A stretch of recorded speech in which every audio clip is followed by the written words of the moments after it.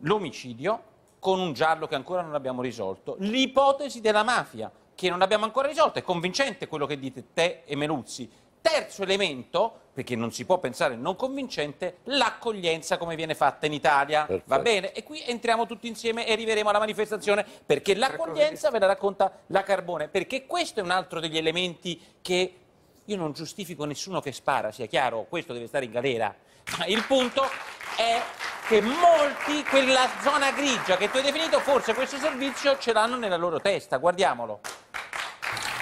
Monte Cassiano, pochi chilometri da Macerata, questo è l'hotel Recina, 4 stelle, dove era ospitato Awelina Laki, uno dei nigeriani indagati per la morte di Pamela Mastropietro, fermato poi a Milano mentre cercava di raggiungere la Svizzera. Non c'è molta voglia di parlare. Quanto accaduto nelle ultime due settimane, a Macerata ha toccato un nervo scoperto. Tre qui i gestori dell'accoglienza, il GUS, Perigeo e Axim.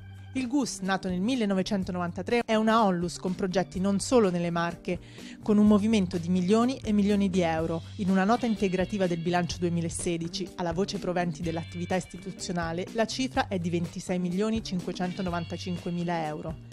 Il presidente è Paolo Bernabucci, il coordinatore Giovanni Lattanzi, anche responsabile nazionale delle politiche del welfare del PD.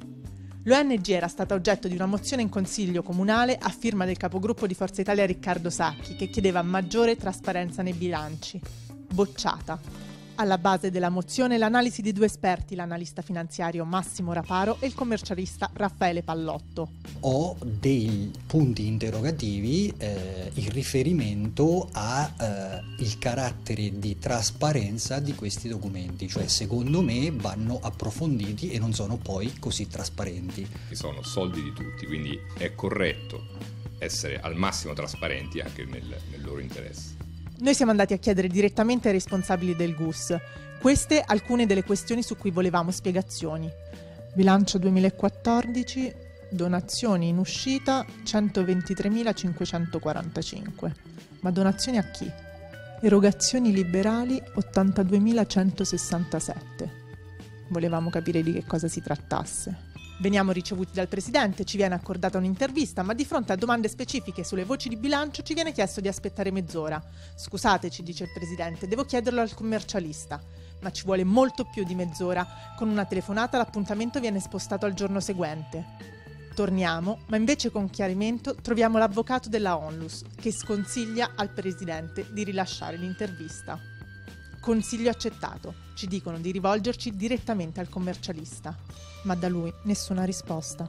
Della Onlus si sono occupate sia l'Agenzia delle Entrate sia la Finanza che si è soffermata su presunte irregolarità e ha sollecitato con un'informativa di oltre un anno fa sequestri preventivi per oltre 10 milioni di euro. Ma il GUS non è l'unica a essere passata sotto il controllo della Guardia di Finanza e dell'Agenzia delle Entrate. Così andiamo anche all'Axim. Vorrei che voi parlate con l'avvocato che lo sta seguendo. Proviamo anche con Perigeo.